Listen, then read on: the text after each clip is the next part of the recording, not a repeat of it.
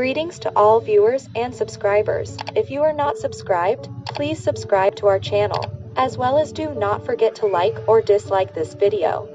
The first trailer for new horror movie Megan has been released, and there are a number of surprising Kiwi connections fans have spotted in the clip. The movie, filmed in New Zealand, tells the story of an AI doll named Megan, a shorthand for Model 3 generative, whose attempts to protect a young girl quickly turn deadly. The trailer quickly went viral for featuring Taylor Swift's 2019 song It's Nice to Have a Friend as its soundtrack, as well as the doll's creepy dance moves.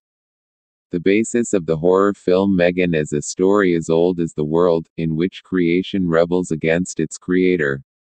But it's cyberpunk era so instead of a traditional killer doll, a high-tech doll is an android with rudiments of intelligence.